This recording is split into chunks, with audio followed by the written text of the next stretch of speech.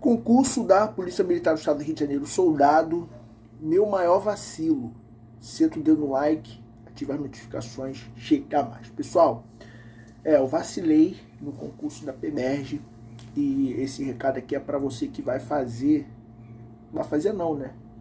Você que já está envolvido aí com o concurso, temos aí a prova de redação, demais etapas e aproveite, dê o seu máximo. Não sabemos quando que vai ser o próximo concurso, tendo em vista que o último edital é de 2023, mas o último, pessoal, foi de 2014. Olha só o tanto de tempo que demorou para sair um novo edital. Então você tem que dar o gás aí nesse concurso. Mas onde que eu errei? Onde que eu errei? Qual foi meu maior vacilo? Meu maior vacilo foi ter falado para todo mundo que eu tinha passado no concurso da PMR. Sem ao menos, né, ter chegado ali pertinho já, já tomando posse. Nem isso eu cheguei. Saí falando para todo mundo. Não pode, gente. Eu, eu recomendo não falar para geral. Por quê? Muito olho grande, muitos sabotadores, muita gente falando bobagem. Eu vi muita gracinha, eu vi muita besteira. Ó, no dia da minha prova, para você ter noção, eu fiz a prova justamente na faculdade onde eu estudava. Eu já estava ali já nos, nos períodos finais e o fiscal de prova era um colega de turma. E ele falou assim, pô, você vai ser policial, não sei o que. Eu falei, porra, eu pensar, me deixa, porra, a vida é minha. Aí, o cara falou tão alto, né? A, turma, a galera que tava na sala ouviu, entendeu? Ouviu assim e tal.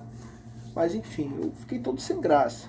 Começou por ali é, esse concurso também, o bairro inteiro fez a prova. O bairro inteiro. Quando fui, fui fazer a prova da PMERG, que tinha lá de colegas que estudou comigo no ensino médio, todo mundo.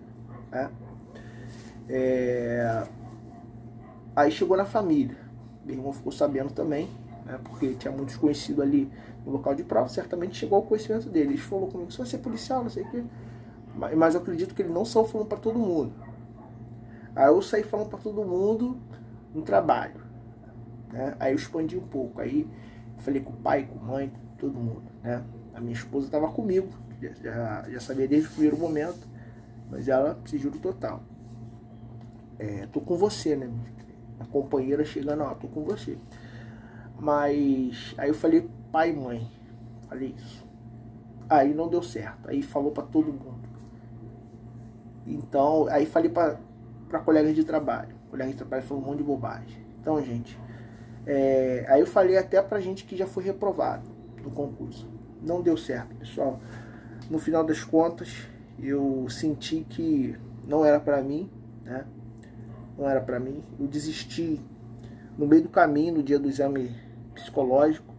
Mas a experiência valeu a pena, porque foi legal conhecer o Cefap, fui lá fazer o teste físico, colegas que pude treinar um bom tempo. Eu treinei muito pro simulado da PMERG pro, pro TAF.